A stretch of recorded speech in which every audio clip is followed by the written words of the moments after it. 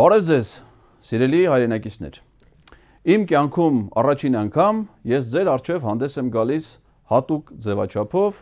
stand-up show կամ փաստավավերագրական մոնո ներկայացում, որի հեղինակը ամենևին էլ ես չեմ, այլ ազգային ժողովի նախագահ Ալեն Սիմոնյանը։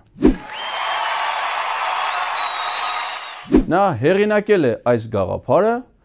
դիմելով դատարան եւ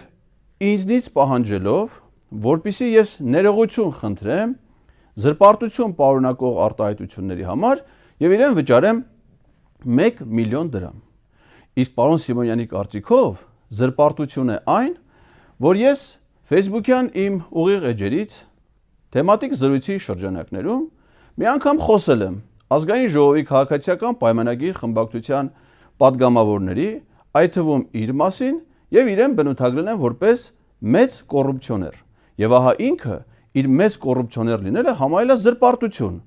եւ ինձ դատի ա տվել դրա համար։ Եվ նախապատրաստվելով դատին ես հասկացա, որ մի հարցում սխալվել եմ։ Պարզման որ նա ոչ թե մեծ, այլ շատ մեծ կոռուպցիոներ է, որովհետև այս հսկայական տրցակը թղթերի դա ընդհանրապես համառոտագրությունն է նրա կոռուպցիոն գործունեության։ Եվ ահա Դատանին նախապատրաստվելուց առաջ ես որոշեցի այս ձևաչափով իլոր հանրության ներկայացնել այն կոռուպցիոն դրվագները գործունեության, որը վերաբերելի են Հայաստանի ազգային ժողովի նախագահ Ալեն Սիմոնյանին։ Այնպես որ մեր այս stand-up-ի շահառուներն են հանդիսանում նախ դատարանը,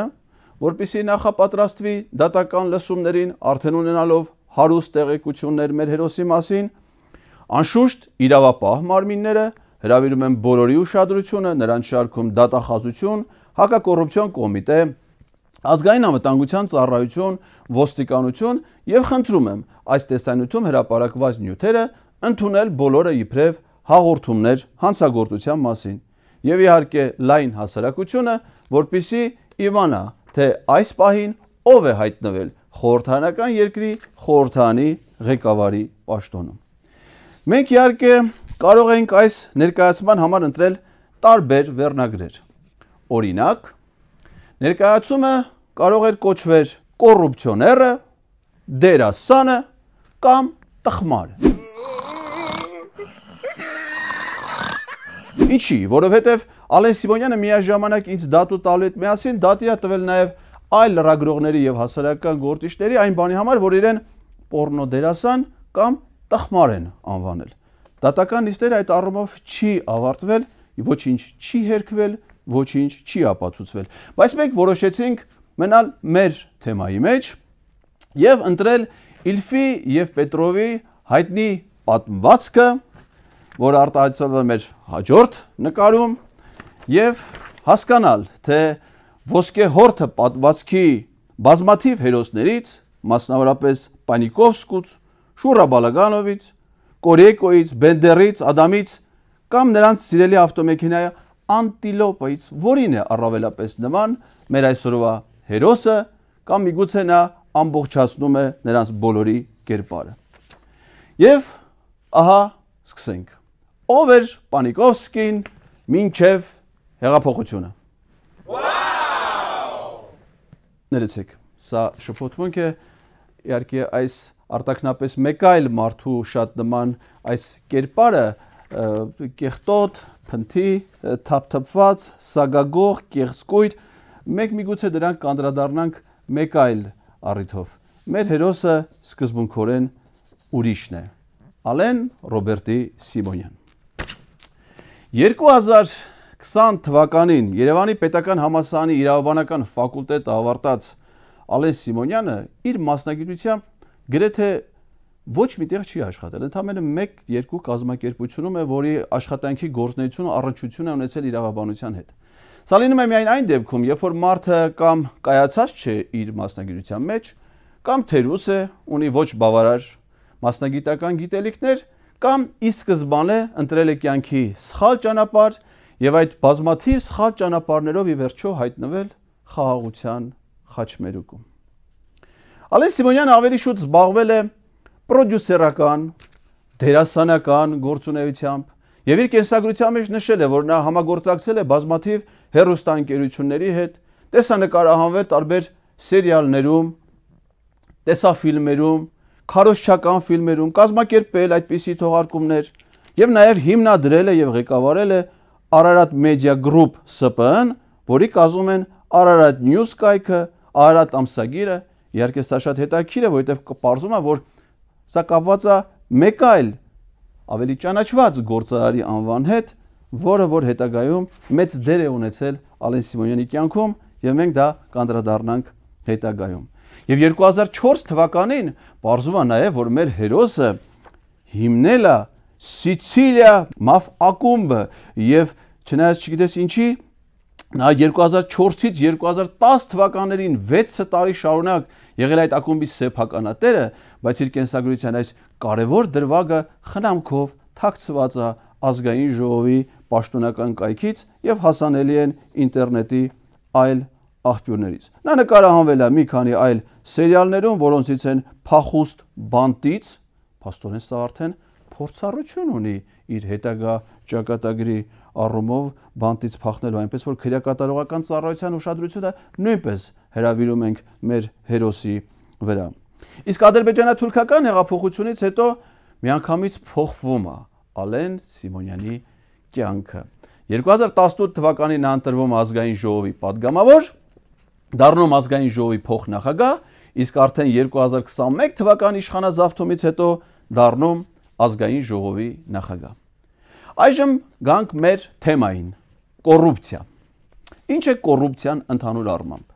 Իրավական եզրույթները, պաշտոնական մեկնաբանություններ գրեթե չկան։ Կա դասագրքային, տեսական դասակարգումներ, ըստ որի կոռուպցիան անձնական կամ այլ շահադիտական նպատակով տարբեր ձևերով արտահայտված ի պաշտոնե տրված իշխանական լիազորությունների չարաշահումն է։ Կոռուպցիան արտահայտվում է պաշտոնական դիրքի կամ կապերի չարաշահումը, պաշտոնական լիազորությունների չարաշահելը կամ անցնելը, պաշտոնական կեղծիքը, պաշտոնական դիրքի օգտագործմամբ պետական սեփականության յուրացումն ու վատնումը, ինչպես նաև պաշտոնական այլ չարաշահումներ։ Transparency International միջազգային հակակոռուպցիոն կազմակերպության սահմանմամբ Կոռուպցիան ի պաշտոնե տրված իշխանական լիազորությունների չարաշահումն է անձնական օգուտ ստանալու նպատակով։ Կոռուպցիայի մի դրսևորում է նաև ընտանյավարությունը։ Սա այն դեպքն է, երբ որ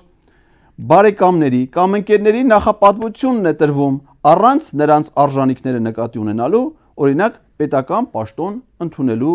դեպքում։ Քաղաքական շրջանակներում հաճախ դա կոչվում է հովանավորչություն։ Քաղաքական կոռուպցիան կոռուպցիայի մի այլ տեսակ է,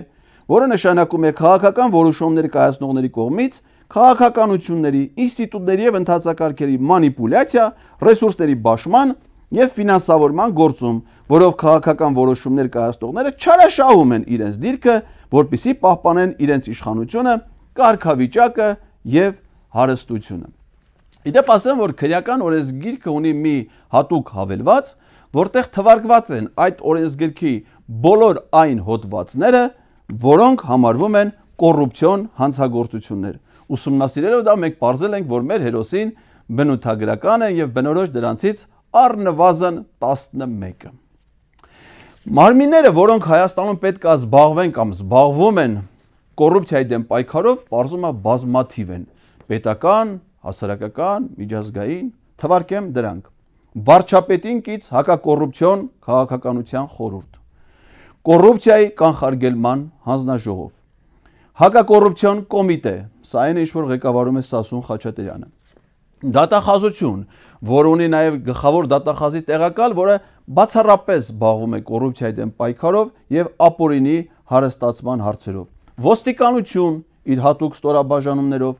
ազգային անվտանգության ծառայությունում գոյություն ունի տնտեսական անվտանգության եւ կոռուպցիայի հակազման գլխավոր վարչություն։ Դատական համակարգում կա մի ամբողջական հիերարխիա, առաջին ատյանի դատանից մինչև վճռաբեկ դատանի հակակոռուպցիոն պալատ։ Կան միջազգային կազմակերպություններ, մենք կանդրադառնանք Transparency International հեղինակավոր կազմակերպությանը, տեղական հասարակական կազմակերպություններ եւ զանգվածային լրատվության միջոցներ։ Մեր ուսումնասիրություններում օրինակ մենք շատ ենք օգտվել հետ կայքի CivilNet-ի 168.am-ի փաստերի ստուգման հարթակի ազատություն ռադիոկայանի աղբյուրներից։ Պատկերացնում եք, այսքան պետական հասարակական սեկտորի մեջ մեր հերոսը այնպիսի ունակություններ ու այնպիսի տաղանդ ունի, որ կարողացել է նրանց բոլորին շրջանցելով, նրանց բոլորից անցնելով ցուցաբերել կոռուպցիայի գրեթե բոլոր հնարավոր դրսևորումները։ Եվ որpիսի մենք ներկայացնենք այն ձեզ հիմնավորապես, մենք կներկայացնենք միայն փաստեր, իրավական ակտեր, մամուլի հրապարակումներ, անուններ եւ թվեր։ Եվ հեշտացնելու համար մեր այս մոնո ներկայացումը մենք այդ ամենը ձեզ կներկայացնենք 5 տարբեր կոռուպցիոն դրվագներով։ Դրանք են անշարժ գույք, դրա հետ կապված դրսևորումներ, ավտոմեքենաներ, ճամփորդություններ հանգիստ խրախճանք, հովանավորչություն եւ ամենաթողություն։ Եվ ահա սկսենք առաջինից։ Անշարժ գույք։ Պարզում է, որ մեր հերոսը անշարժ գույքի սիրահար է։ Նա հաշվառված է Երևան քաղաքի կենտրոնում Եկմալյան փողոց 1/1 բնակարան 103 հասցեում։ Բայց այս բնակարանը, որտեղ նա հաշվառված է, Պարզում է նա ձեռք է բերել շատ ավելի ուշ, ընդամենը մի քանի տարի անց, Մինչ այդ նրան է պատկանել Երկմալյան փողոցի նույն շենքում գտնվող մեկ այլ 76-րդ բնակարանը։ Եւ այդ գործով Ալեն Սիմոնյանը եւ նրա կինը նույնիսկ դատական հայց են ներկայացրել այդ շենքը կառուցապատող Gradivest ՍՊՀ-ի դեմ, չնայած դատարանը գործը վարույթ չի ընդունել։ Ինչ գործարք է տեղի ունեցել ադրբեջանա-թուրքական հեղափոխությունից հետո, երբ Ալեն Սիմոնյանը արդեն ազգային ժողովի նախագահ էր։ Հաջորդ նկարում էր երևում է Ալեն Սիմոնյանի նույն շենքում գտնվող երկու տարբեր բնակարանների հատակագիծը։ Սրանից པարզ է դառնում, որ 2017 թվականին ընդամենը 22 միլիոն դրամով գնված այս 77.97 քառակուսի մետր մակերեսով բնակարանը Ալեն Սիմոնյանը 2 տարի անց վաճառել է ուշադրություն. 125 միլիոն դրամով կամ 5.6 անգամ ավելի թանկ կամ 103 միլիոն դրամով ավել։ Անշարժ գույքի շուկայում շատ քիչ հաջողակներ կան, որոնք կարող են փոքր բնակարանը ձեռք բերել եւ վաճառել նման ռեկորդային բարձր գնով։ Եվ քանի որ դա դժվար է պատկերացնել գործարար հակումներով կամ անշարժ գույքի շուկայի նման տատանումներով, բնականաբար հիմնական վարկածը դառնում է կոռուպցիան։ Առավել եւս որ ողրվում է, որ նույն այդ ժամանակաշրջանում, նույն այդ շենքում Ալեն Սիմոնյանը ձեռք է բերում կանաչով ընդգծված 143.23 քառակուսի մետր մակերեսով բնակարանը 114 միլիոն դրամով կամ 11 միլիոն դրամով ավելի պակաս արժեքով։ Այսինքն պատկերացնում եք, նա փոքր տունը նույն շենքում վաճառում է 5 ու 6 անգամ թանկ գնով, քան առել էր 2 տարի առաջ, եւ այդ նույն պահին նույն շենքում առնում է 11 միլիոն դրամով պակաս, բայց գրեթե կրկնակի ավելի մեծ մակերեսով բնակարան։ Նման հաջողակը այսօր հաջողությամբ զբաղեցնում է ազգային ժողովի նախագահի պաշտոնը, բայց սա ուրիշ որևէ այլ կերպ, քան կոռուպցիայի դրսևորում դժվար է պատկերացնել։ Պարզվում է նաև որ Ալեն Սիմոնյանը այդ բնակարանում այլևս չի ապրում։ Նա ապրում է կառավարական ամառանոցում։ Լուսանկարը, որտեղ Ալեն Սիմոնյանը պատկերված է իր ընտանիքի հետ, նկարված է կառավարական ամառանոցի բակից, որտեղ բնակվում է նրա հետ միասին Նիկոլ Փաշինյանը, Սուրեն Պապիկյանը, Արարատ Միրզոյանը, նրանց հետ ապրող շները, կատուն, բայց այնտեղ չի ապրում Վահագն Խաչատուրյանը։ Այսինքն նրա հեղինակությունը դեռևս չի բարձացրել Չալոյի հեղինակության աստիճանի, որպեսզի չնայած իր իրավունքին ինքը նույնպես իրավունք ստանա ապրել կառավարական ամառանոցում։ Եվ ահա սեփական տուն ունեցող Երևանի կենտրոնում Ալեն Սիմոնյանը բնակվելով կառավարական ամառանոցում իր բնակարանը տվել է վարձով եւ ստացել է վարձավճար Աննա Գյորգիից 7 միլիոն դրամի չափով։ Իհարկե հայտարարագրում որպես կանոն նշում են եկամուտները արդեն հարկերը վճարած։ Ես իհարկե չգիտեմ Ալեն Սիմոնյանը վճարել է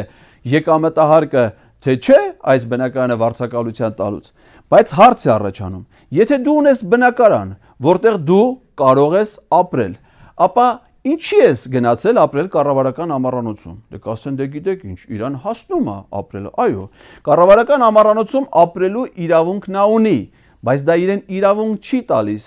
իր այլ գույքից ստանալու այլ եկամուտներ։ Հակառակ դեպքում ստացվում է, որ ինքը օգտագործում է հանրային տարածքը իր կեցության ապահովման համար, սակայն օգտագործում է իր մասնավոր տարածքը սեփական հարստություն դիզելու համար։ Իդեպ կառավարական ամառանոցում ապրելը դա պաշտոնյայի պարտականությունը չի, այլ իրավունք։ Օրինակ ազգային ժողովի նախկին նախագահներ Արա Բաբլոյանը, Գալուս Սահակյանը, Հովիկ Աբ รา համյանը եւ պարզումա որ իրեն նմանեցրած Կարեն Դեմիրճյանը Չնայած այդ իրավունքին երբեք չեն ապրել կառավարական ամառանոցում։ Կառավարական ամառանոցում չեն ապրել նաև նախկին վարչապետներ Հրանտ Բագրատյանը, Արմեն Սարգսյանը, Արամ Սարգսյանը, Անդրանիկ Մարկարյանը, Հովիկ Աբ รา համյանը, Կարեն Կարապետյանը եւ այլն։ Բայց մեր հերոսները եւ կոնկրետ այսօրվա հերոսը տեղափոխվել է ամառանոց, բարձում է այն բանի համար, որpիսի իր բնակարանը վարձով տալուց ստանա հավելյալ եկամուտ։ Եվ ահա բարձում է, որ ամառանոցում ապրող Երևանի կենտրոնում բնակարան ունեցող Ալեն Սիմոնյանը նաև որոշել է առնել մեկ այլ բնակարան Երևանի կենտրոնում նոր կառուցապատվող թաղամասում։ Եվ ահա ըստ իր գույքի հայտարարագրերի, որը մեզ է ներկայացնում հետք լրատվական կայքը լրագրող Տրթատ Մուշեղյան 2023 թվականի հունիսի 15-ին։ Բարձմա որ այդ բնակարանի համար Ալեն Սիմոնյանը վճարել է 53 միլիոն 920 հազար դրամ, բայց բարձումա որ նա նաև այդ բնակարանը ձեռք բերելու համար ստացել է վարկ 48 միլիոն 325 հազար դրամի չափով դուք կարող եք մտածել, թե որ բանկից։ Իհարկե ոչ կառուցապատողի գործընկեր բանկից, այլ իր գործընկեր Հայ Էկոնոմ բանկից։ Եվ այդ բանկի սեփականատերերից մեկն է ազգային ժողովի падգամավոր Խաչատուր Սուքյասյանը, բանկի մյուս սեփականատերերն են Սուքյասյան ընտանիքի անդամներ, եւ ահա պարզում է, որ Սուքյասյանը, որ ազգային ժողովի падգամավոր է, զբաղվում է ձեռնարկատիրական գործունեությամբ, ինչի իրավունքը չունի, որովհետև падգամավորը չի կարող դրանով զբաղվել, եւ դրա մասին պետք է բարձրաձայներ ինքը ազգային ժողովի նախագահը, դիմելով կոռուպցիայի կանխարգելման հանձնաժողով, բայց նա չի դիմել նրա լիազորությունները դադարեցնելու համար, սա էլ օգնել է Ալեն Սիմոնյանին, որպեսզի նա ձեռք բերի նոր բնակարան, ինչի ապրելու իմաստով դրա կարիքը փաստացի Ալեն Սիմոնյանը ճուներ։ Իդեպ առնում է, որ այդ թաղամասում նաև բնակարաններ են ձեռք բերել պաշտպանության նախարար Սուրեն Պապիկյանը, վարչապետի աշխատակազմի ղեկավար Արայիկ Հարությունյանը, ԱՄՆ Հայաստանի դեսպան Լիլիթ Մակունցը, ազգային ժողովի падգամավոր Տրթաց Սարգսյանը, եւ բնականաբար այս կոռուպցիոն հստեյության գործունեության նկատմամբ մեծ ուշադրություն պետք է դարձներ հակակոռուպցիոն կոմիտեի ղեկավարը Սասուն Խաչատրյանը, որը ողջում է նորից Հայ-Էկոնոմ բանկի շահառուը եւ մեր այս ընկերների հարևանն է այդ նույն թաղամասում։ Հետևաբար ակնկալել նրանից իրավական գործընթաց այլևս անիրատեսական։ Անշարժ գույքի մեր սիրահարը ողջում է, որ չի դիմանում Երևանյան շոքին հատկապես ամառվա ամիսներին եւ իրան անհրաժեշտ է նաեւ ամառանոց Երևանի մերձակա թաղամասերում։ Ընտրությունը կանգ առել Կոտայքի մարզի ջրվեժ համայնքի վրա։ Եվ այստեղ 2022 թվականի փետրվարի 2-ին մեր հաջորդ լուսանկարն է Civil Net-ը մեզ օգնում է իր լրագրողներ Հովանես Նազարյանի եւ Անի Գրիգորյանի ուժերով ողրզելու համար թե ինչ ամառանոց է ձեռք բերել Սիմոնյանի ընտանիքը փաստացի Ալեն Սիմոնյանը։ Ստացվում է, որ Ալեն Սիմոնյանը ըստ այդ հրապարակման 215.000 ԱՄՆ դոլարով, ես խոսում եմ միլիոնավոր դրամների, 100 հազարավոր դոլարների մասին, բայց չմոռանանք, որ մենք խոսում ենք ընդհանրապես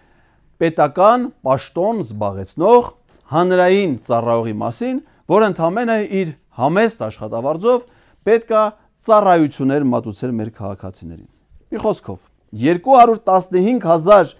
դոլարով նա 3 հարկանի առանձնատուն է ձեռք բերվում ջրվեժ համայնքում։ Առանձնատունը ձեռք է բերել Ալեն Սիմոնյանի մայրը Մարինե Հովանիսյանը։ Եվ նա այդ առանձնատունը ձեռք է բերել ըստ Civilnet-ի հրապարակման Վճռաբեկ դատարանի քաղաքացիական եւ վարչական պալատի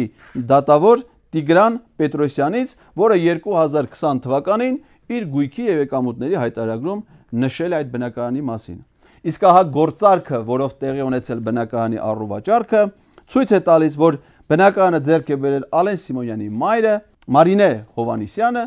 թոշակառու մի կին։ Պատկերացնում եք, ասենք Հայաստանում քանի թոշակառու կա, որ կարող է ձեռք բերել բնակարան։ Եվ եթե նայում ենք ձեռք բերման բնակարանի պայմանագիրը, այստեղ հանդիպում ենք արդեն մեզ համար շատ հարազատ դարձած մի կազմակերպության եւ բանկի անուն.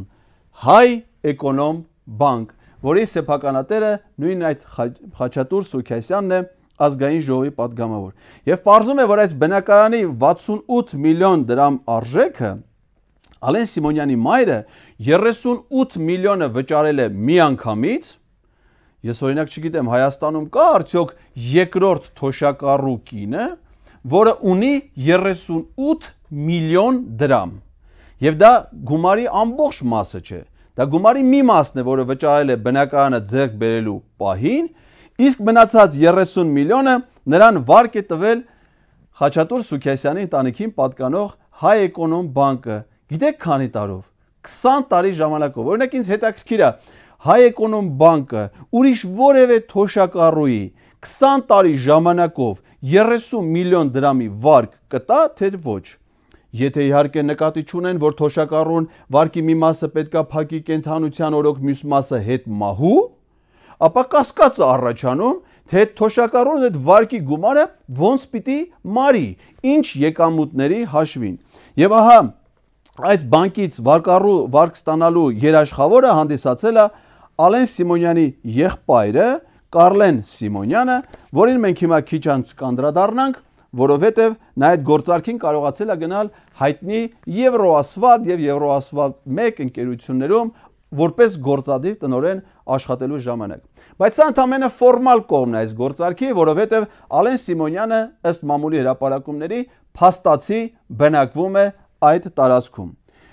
Մեր հաջորդ նկարում երևում է, որ այդ առանձնատան բակում տեղադրված է ոստիկանական պահակակետ։ Եվ այնտեղ իրականացվել է 2020-21 թվականներին մեծածավալ շինարարական աշխատանքներ մի քանի միլիոն դրամ արժեքով եւ Yandex-ի արխիվային լուսանկարները ցույց են տալի, որ այդ շինարարական վերանորոգման աշխատանքների փոփոխության արդյունքները, ինչպես նաև ոստիկանական պահակակետի այնտեղ տեղակայումը։ Որ Ալեն Սիվոնյան այնտեղ ապրում է փաստացի, հենց այս պահակակետի վկայությունն է, որովհետև հատուկ պետական պաշտպանության ենթակա անձանց անվտանգության ապահովման մասին օրենքի 7-րդ հոդվածը նախատեսում է, որ հատուկ պահպանության օբյեկտ է հանդիսանում ազգային ժողովի նախագահը, այլ ոչ նրա ընտանիքի անդամները։ Այսինքն, եթե Ալեն Սիմոնյանը այնտեղ չապրեր, այլ այնտեղ ապրեր նրա մայրը կամ եղբայրը, ապա պետական պահպանության հենակետ այնտեղ չէր կարող տեղադրվել։ Իսկ այստեղ կա նաև մեկ ուրիշ հանգամանք, որ Ալեն Սիմոնյանը հավաստում այնտեղ իր մշտական բնակությունը, սա էլ արձանագրել են Civilnet-ի լրագրողները պատահաբար 2022 թվականի հունվարի 5-ին Ալեն Սիմոնյանի ծննդյան օրը, երբ որ ողջվել է, որ այդ առանձնատանը նշել են նրա ծնունդը։ Իհարկե, մի պահ կարելի է մտածել նայելով այս մեքենաների բազմազանությունից, շքեղությունից, նրանց արժեքից, որ հավանաբար այդ օրը եղել է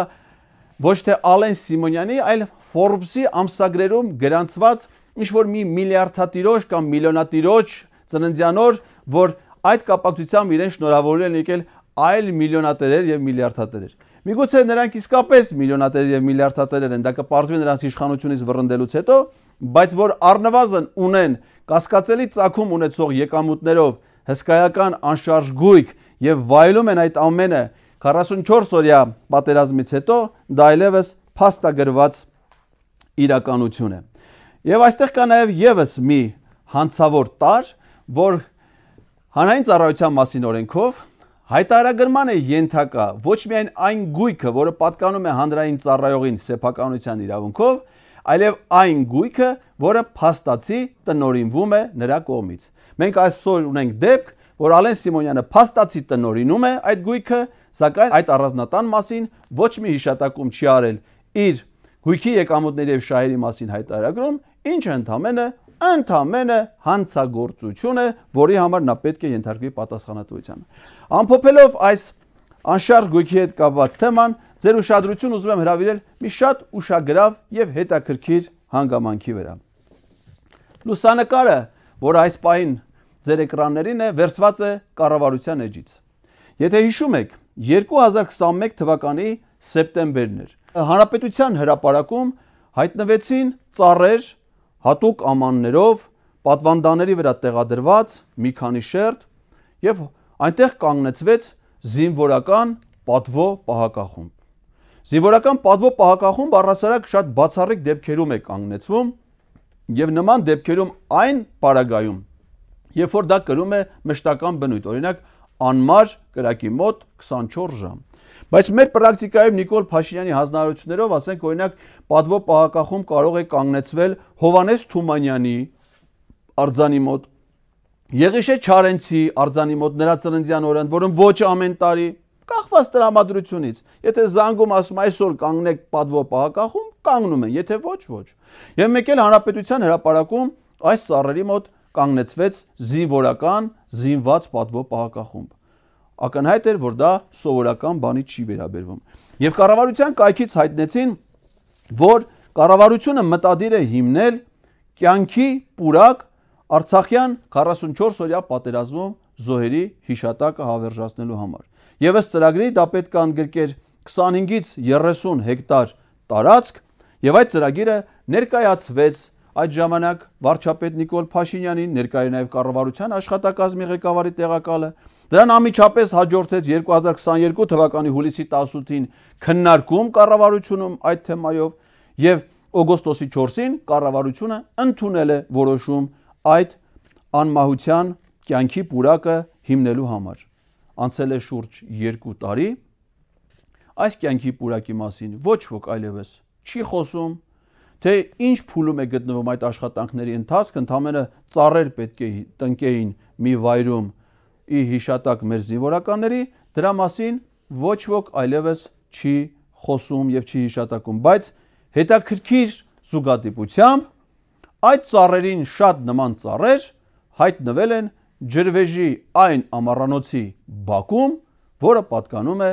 Ալեն Սիմոնյանի ընտանիքին։ Իհարկե այս ծառերը համարակալված չեն, նրանք անվանակոչված չեն եւ դժվար է նույնականացնել եւ դժվար է պնդել, որ դրանք հատկապես հենց այն ծառերն էին, որոնք գտնվում էին հանրապետության հրապարակում պատվո պահակախմբի ուղեկցությամբ։ Բայց համենայն դեպս ծառերը բավականին նման են եւ այնպես չէ, որ մեկը Եղևնի է, մյուսը բարդի։ Անցնենք մեր հաջորդ թեմային՝ ավտո մեքենաներ։ Մարզվում է, որ այս անգամ մեր հերոսը կարող է հանդես գալ ոսկե հորտի Ադամի կերպարում, որը շատ էր սիրում մեքենաներ։ Ինչպես կասեր թուրքահպատակ Իբրահիմի որդին Օստապ Իբրահիմովիչ Բենդեր Զադունայսկին մենք դրան կանվանենք անտիլոպա գնում։ Ալեն Սիմոնյանը որպես ազգային ժողովի փոխնախագահ առաջին անգամ սկանդալային պատմության մեջ հայտնվել է հենց ավտոմեքենաների հետ կապված թեմայով։ Այսպես 2019 թվականի հուլիսի 5-ին Ազատություն ռադիոկայանի լրագրող Արտակ Խուլյանը գրում է, որ ազգային ժողովի փոխնախագահ Ալեն Սիմոնյանի հայտարարած ունեցվածքի վերաբերյալ իրականացված հետաքնության մասով վարույթ է հարուցվել Ազատությանը տեղեկացրել է այդ մասին Բարձրաստիճան պաշտոնատար անձած էթիկայի հանձնաժողովի այդ ժամանակվա նախագահ Էդգար Շաթիրյանը։ Իդեպ ասեմ ձեզ, որ հետագայում Էդգար Շաթիրյանը ադրբեջանա-թուրքական հեղափոխության կողմից կառավարության որոշմամբ առաջադրում է համանդրական դատանի դատավորի տեխնացու եւ ընտրվել է եւ հիմա համանդրական դատանի դատավոր է։ Բայց դա այս պատմության հետ ուղիղ չի առնչվում։ Ամբողջ խնդիրը կայանում էր նրանում, որ Ալեն Սիմոնյանը, որը մինչ այդ ունեցել էր Mitsubishi Magnishi մեքենա, որոշում է գնել շատ ավելի լավ, շատ ավելի շքեղ մեքենա Range Rover։ Եվ գնելով այդ մեքենան, նա հրաժարվում է, չի ներկայացնում այդ մասին տեղեկություններ իր գույքի եկամուտների եւ շահերի հայտարարագրում։ Ըստ էության հայտարարագիրը դիտավորությամբ չլրացնելը կամ կեղծ լրացնելը, հայտարարագրից պատկանող գույքը թաքցնելը ընդամենը հանցագործություն է։ Եվ կոռուպցիայի կանխարգելման հանձնաժողովը այդ ժամանակ էթիկայի Բարսացիչյան պաշտոնատար անձանց էթիկայի հանձնաժողովը նախաձեռնել վարույթ եւ որոշել է Ալեն Սիմոնյանին վարչական պատասխանատվության ենթարկել այդ գույքը թաքցնելու համար։ Բայց դա լրագրողներին չի բավարարել։ Եվ լրագրողական հետաքննությունը ողրել է շատ ավելի հետաքրքիր հանգամանքներ։ Մասնավորապես այն, որ Ալեն Սիմոնյանը չի կարողացել ցույց տալ հետագայում, այսինքն երբ որ ողրվել է, որ նա ունի այդ մեքենան չի հայտարարել, Հետևաբար հարց է առաջանում, իսկ որտեղից է նա ձեռք բերել այդ ավտոմեքենան, որովհետև Mitsubishi վաճառքի եւ Range Rover-ի գնի մեջ առաջացել է բավականին մեծ տարբերություն, մոտարապես 15000 դոլարի չափով, եթե չեմ սխալվում, որը ոչ մի կերպ հնարավոր չի եղել հիմնավորել։ Եվ ահա պարզվում է, որ այդ 15000 դոլարի պատմությունը, այդ մեքենայի ձեռքբերման պատմությունը կապվել է Վիվարո ընկերության սեփականատեր Վիգեն Բադալյանի անվան հետ եւ մամուլը գրում է, որ Վիգեն Բադալյանը պարզապես այդ մեքենան նվիրել է Ալեն Սիմոնյանին։ Մենք այս երկու ընկերների բարեկամությանը կանդրադառնանք նաեւ մեկ այլ դրվագով, որովհետև Ալեն Սիմոնյանը նախաձեռնել էր մի օրենքի նախագծի ընդունում, որը շահեկանորեն բարձրացնում էր Վիգեն Բադալյանի եւ նրա ընկերության եկամուտները։ Եվ ահա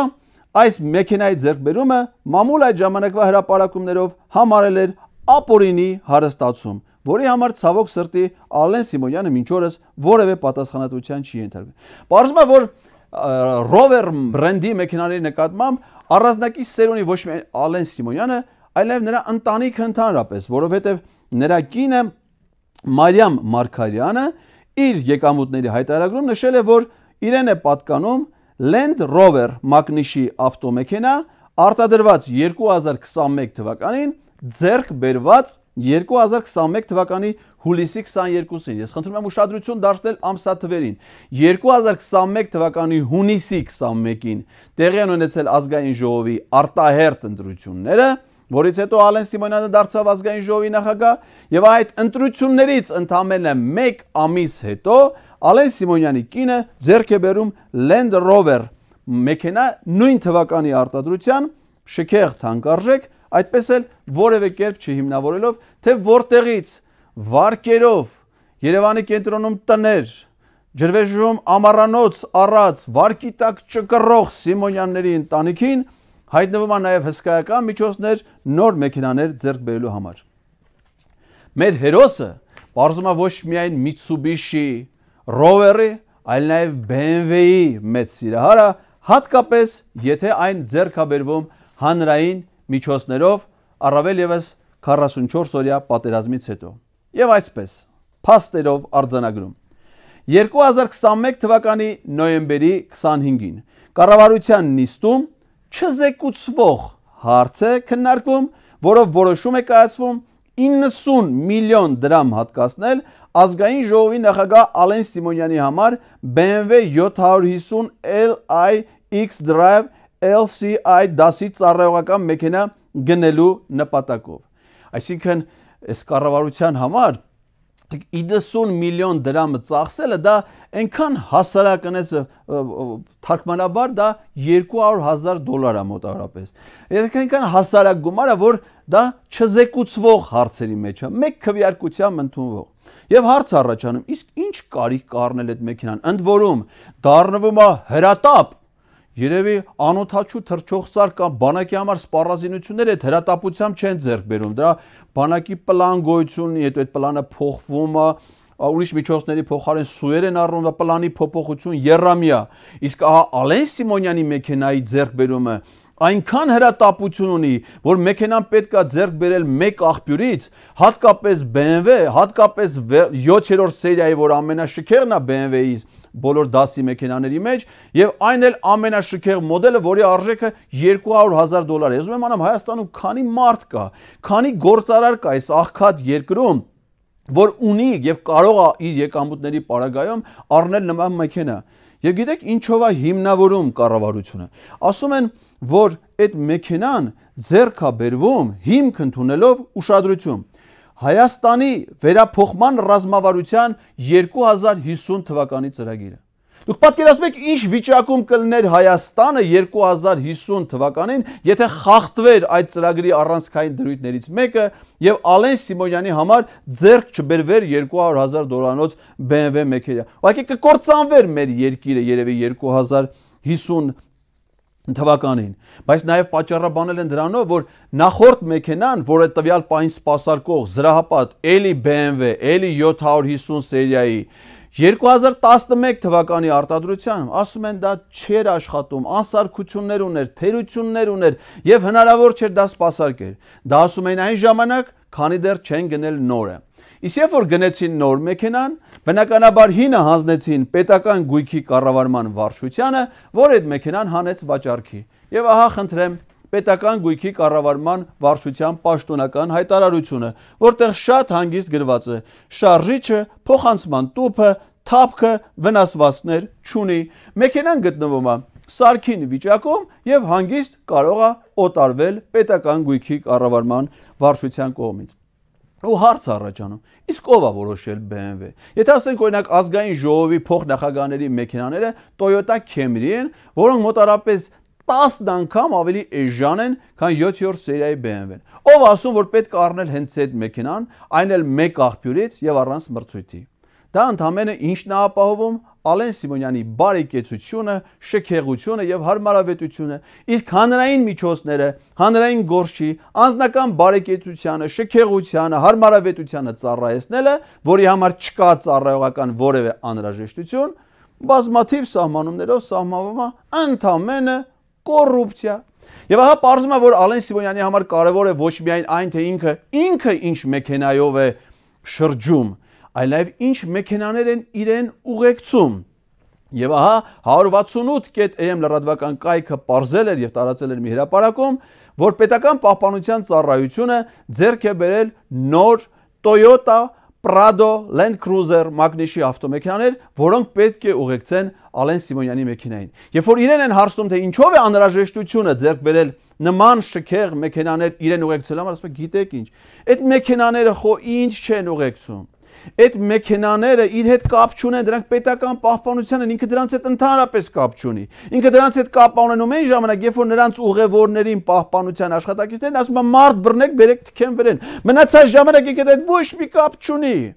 Եվ այդ մեքենաները ուղեկցում են ոչ թե իրեն, այլ ուղեկցում են այն մեքենային, որի մեջ ինքը նստած է։ Այդքան բան ինչ կապ ունի դա իր հետ։ Եվ այդ ամենը արժե մեր հասարակության համար տասնյակ հարյուրավոր միլիոնավոր դրամներ։ Մեր հաջորդ թեման կոչվում է ճամփորդություններ, հանգիստ եւ խրախճանք։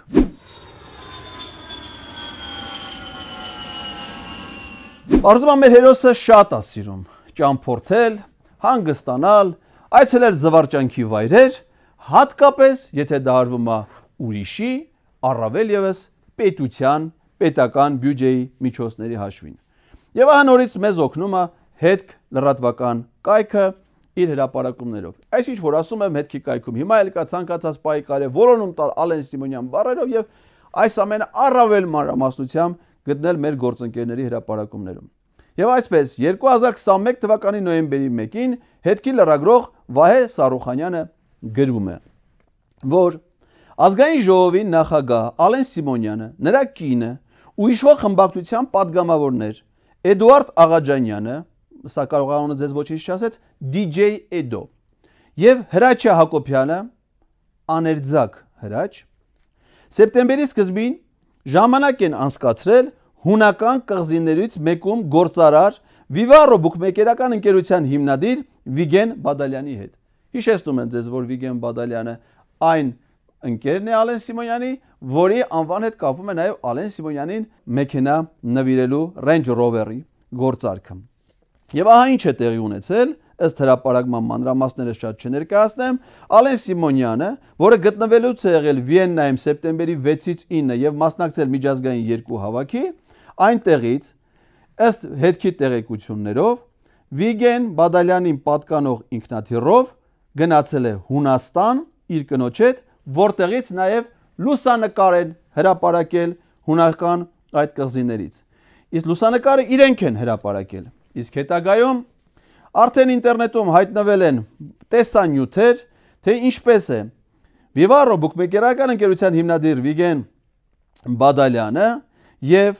աներձակ հրաչը DJ Edon Ալե Սիմոնյանը շքեղ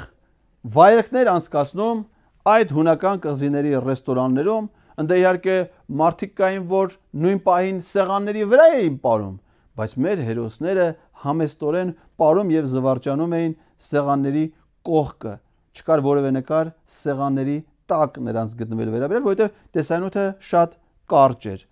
Հետքը ողջել է, որ այդ հյուրանոցը պատկանում է ուրեմն Մարիոտ խմբին 5 աստղանի հյուրանոցների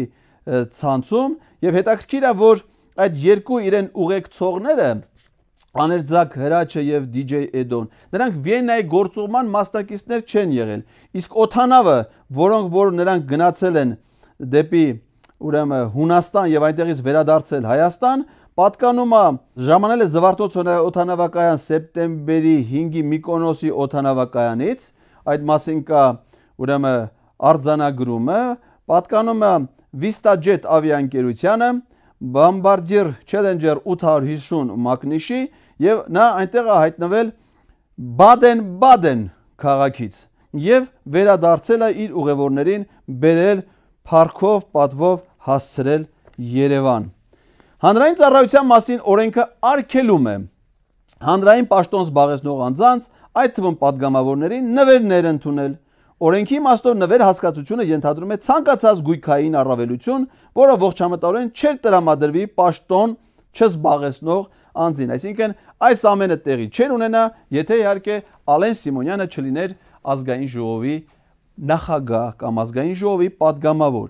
Իսկ նա ոչ միայն իր կարգավիճակն է այդ ամենին նպաստել, այլ նաև դրան նպաստել է իր օրենսդրական նախաձեռնությունը, որով նա առաջարկել է փոփոխություն կատարել վիճակախաղերի մասին օրենքով եւ այդ օրենքը շահեկան առավելություններ է ապահովել. Vivaro ընկերությանը շուկայի առաջատար հանդիսացող հատկապես էլեկտրոնային ինտերնետ խաղերի տիրույթում եւ այս ամենի ամփոփումը ցույց է տալիս մեզ մի բան որ Vivaro-ի սեփականատեր Վիգեն Բադալյանը նա պարզապես մի հրաշալի մարդկային կերպար է որը կարողանում է արժանյորեն փոխհատուցել այն մարդկանց, ովքեր օգնում են իր բիզնեսի հաջողությանը, բայց ահա մեր հերոսը ասոցացվում է նման դեպքում բացառապես կոռուպցիոների կերպարի հետ, որը գնացել է հատուկ գործարքի մասնավոր ընկերության համար օգուտներ ապահովելու եւ դրանից օգտվելու համար։ Իդեպ ասեմ, որ Ալեն Սիմոնյանը այդ տարվա համար իր հայտարարագրում հանգստի համար ծախսերից հայտարարել ընդամենը 3000 եվրո, որը բացարձակ չի կապվում հրապարակված հյուրանոցային ծախսերի եւ զվարճանքի ծախսերի հետ։ Ալեն Սիմոնյանի շրջագայությունների մեկ այլ շարք կարելի է մի ամբողջ տեսանյութ ներկայացնել պայմանավորված նրա աննպատակ գործողումներով երկրին, ազգային ժողովի աշխատանքներին, որևէ օգուտ, որևէ նշանակություն, այդ աշխատանքներում փոփոխություն չբերող գործողումներին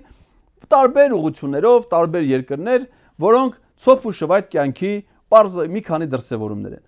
Դրանցից առանձնացնենք 1-2-ը։ Եվ այսպես։ Ազգային ժողովի նախագահ Ալեն Սիմոնյանի կարգադրությամբ ազգային ժողովի պատվիրակությունը մեկնում Ինդոնեզիա։ Բալի։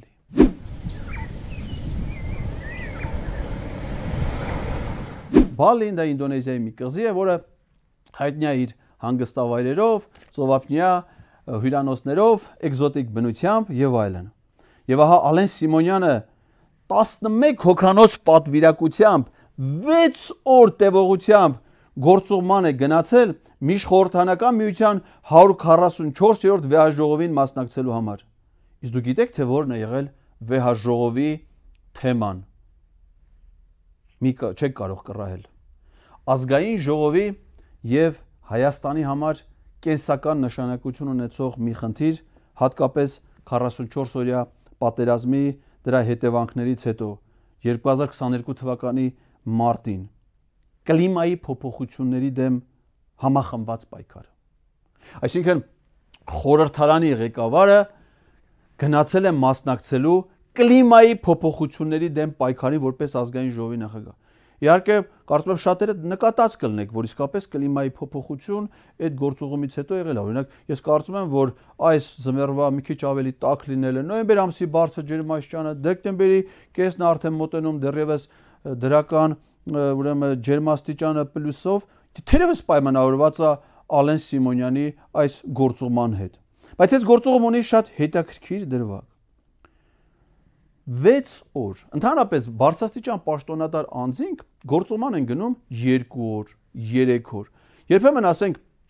չեն գիշերում պաշտոն, այսինքն լինում է պատվիրակություն գալիս է իր հանդիպումները ավարտում եւ հետ է վերադառնում։ Դա նորմալ է։ Նորմալ է, եթե 1 օր կամ 2 օր մնա, եթե հանդիպումների գրաֆիկը խիտ է, նոր նոր վերադառնա։ 6 օր գործողում, իսկ պատվիրակության անդամներ կա, որոնք ասենք օրինակ 9 օր օրինակ Հասմիկ Հակոբյանը, ազգային ժողովի падգամավոր։ Իդեպ ազգային ժողովի падգամավորներից, որ իրեն ուղեկցել են այդ պահին, եղել են ընդամենը Հասմիկ Հակոբյանը եւ Ծովինար Վարդանյանը։ Կենսագրությունները նայեցի, երկուսն էլ զավակ ունեն, բայց ամուսին չունեն։ Այսինքն միայնակ մայր։ Չէ ազգային ժողովը երկու միայնակ падգամավորներ որոնցից մեկը Հասմիկ Հակոբյանը եղել է Ալեն Սիմոնյանի գործընկերը, երբ որ նա աշխատել է Արարատ News-ում, եղել է ազգային ժողովի փոխնախագահ Ալեն Սիմոնյանի օկնականը 7-րդ գումարման ազգային ժողովում, եւ 8-րդ գումարման ազգային ժողովում դարել է падգամավոր եւ երեխային թողել տունը ու Ալեն Սիմոնյանի հետ գնացել գործուղման։ Եվ այդ 3 Ալեն Սիմոնյանին եւ երկու միայնակ կնոջը պատ ուղեկցել է ազգային ժողովի աշխատակազմի ղեկավարը։ Նրա տեղակալը եւ ազգային ժողովի եւս 6 աշխատակից գնացել են օգնելու խորհրդանական այդ կարևոր պատվիրակությանը կլիմայի դեմ պայքարի համախմբված ջանքերը գործադրելու համար։ Իդեպ ասեմ, որ հենց այդ գործողումը մեր բոլորի վրա, սիրելի հայրենակիցներ, արժեցել է 18 միլիոն 348 հազար դրամ կամ շուրջ 46000 ԱՄՆ դոլար։ Ալեն Սիմոնյանի մյուս գործողումը, որը տեղի ունեցել այս տարի 2023 թվականի հուլիսի 10-ից 13-ը, դա Ֆրանսիան էր։ Պատվիրակության կազմում մի շարք падգամավորներ Ֆրանսիայի սենատի նախագահի հետ քննարկվում են եւ ներկայացվում այն աղետալի վիճակը, որ առաջացել Արցախում, հումանիտար խնդիրներ, շրջափակում։ Արցախում ապրող երեխաները ճունեն սննդամթերք, չկա դեղորայք, հիգիենայի պարագաներ, մանկական սնունդ եւ այս ամենը ներկայացում է բարեկամ Ֆրանսիային, ակնկալում նրա աջակցությունը եւ այս տխուր ծանր քննարկումից հետո Ալեն Սիմոնյանը Instagram-ում հրապարակում է իր երեխայի հետ նկար Փարիզի Դիսնեյլենդից։ Այսինքն, եթե սենատի նախագահը այս նկարը նայելուց հետո ինչ զգացողություններ պետք է ունենա մի քանի ժամ առաջ լսած տեքստերի վերաբերյալ ընդամենը դերասանություն, մարդը ընդամենը իր ընտանիք երեխեքին վերցրել էր, եկել էր ըստ Դիսնեյլենդ եւ ժամանակ էր գտել նաեւ պաշտոնական հանդիպման համար արդարացնելու իր կարծիքով այն ակնհայտ կոռուպցիան, եւ որ քո պաշտոնական դիրքը, պաշտոնական գործողման հանգամանքը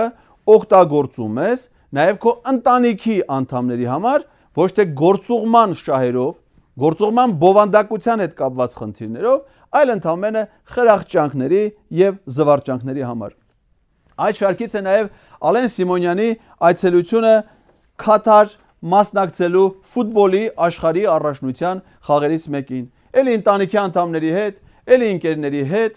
եւ պարզման որ ազգային ժողովի նախագահին ուղեկցում է նաև ազգային ժողովի աշխատակիցները, այսինքն ազգային ժողովի աշխատակազմի աշխատակիցները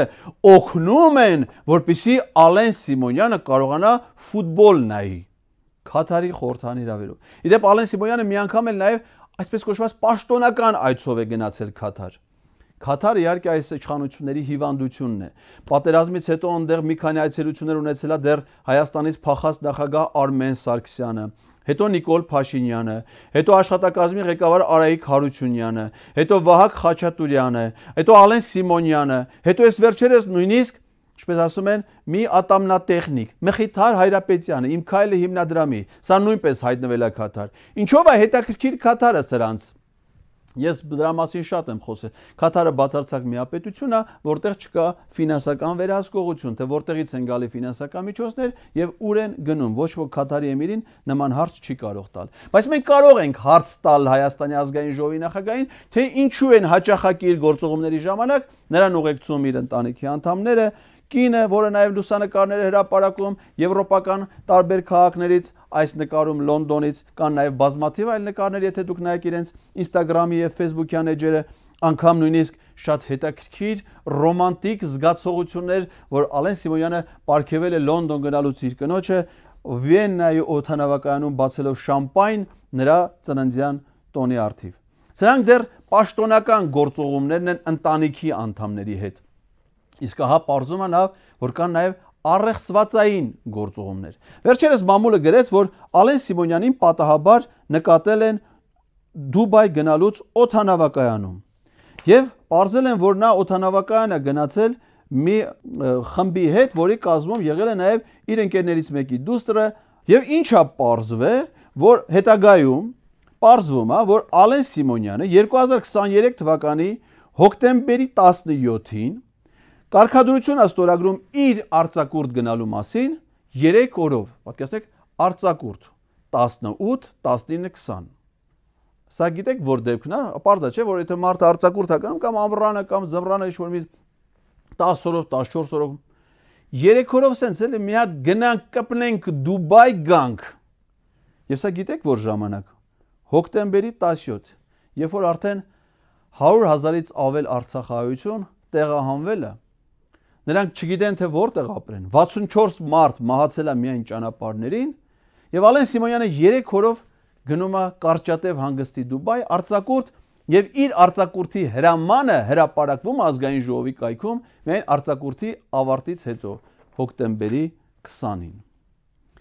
Մի ամբողջական շարք կարելի է թվարկել, սակայն մեր ժամանակը դրան չի հերիքում։ Բայց մեր ժամանակը կարծում եմ անհրաժեշտ էր հատկացնել մեկ այլ բաժնի, որը կոչվում է հովանավորչություն։ Ցամփ։ Սա 4-րդ իշխանություն թերթից վերծված մի կոլաժ է։ Սա վերաբերվում է Ալեն Սիմոնյանի հովանավորչությանը, նրա եղբոր եւ եղբոր հետ ուղիղ առնչություն ունեցող տարբեր ընկերությունների հետ, որոնցից մեկն է Եվրոասֆալտ 1, մյուսը Եվրոասֆալտ 2, եւ ուսումնասիրությունները ցույց են տվել մամուլի, որ այդ ընկերությունը Եվրոասֆալտ 1-ը հիմնադրվել է 2021 թվականի փետրվարի 19-ին 140 միլիոն դրամ կանոնադրական կապիտալով։ Եվ հիմնադիրը գիտեք ով է։ Մտածում ենք, որ ասֆալտապատումով զբաղվող ընկերությունը պետք է լինի ճանաչված, հայտնի մի գործարար ասֆալտապատում անելու համար անհրաժեշտ է, ասենք, ասֆալտապատման տեխնիկա, որից ամենայժանը թերևս կարող է լինի 50000 դոլար, գրեյդերներ, ծանր տեխնիկա, կատոկ, բան, Այդ ընկերության հիմնադիրն է Սիրուշ Դավթյանը, Արագածոտնի մարզի ուշի համանքի բնակիչ։ Երբ որ լրագրողները փորձել են ողրել, թե ով է Սիրուշ Դավթյանը գյուղապետից, գյուղապետն ասել է, որ սկզբից ասել է, որ չի ճանաչում, հետո ասել է, հա, գյուղում բնակվում է, բայց իրան ասում են Ռիտա։